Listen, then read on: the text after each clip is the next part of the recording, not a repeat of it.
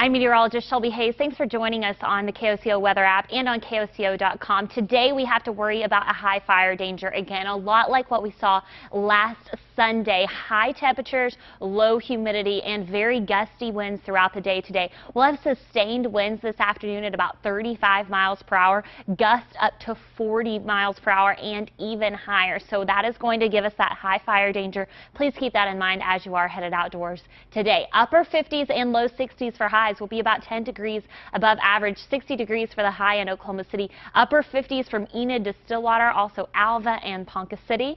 And then as we head into the next couple of days, even warmer weather, 70s on Monday, Tuesday, and Wednesday. But the fire danger will stick around over the next five days. The warm temperatures, also the gusty winds. It gets cooler as we head into Thursday with a high of 55 degrees, but a lot of wind around on Thursday out of the north at about 25 miles per hour. That's ahead of some rain chances headed our way for next weekend. Rain chances Friday, Saturday, and Sunday with highs back down into the 40s. Now you're up to date on the latest First Alert forecast.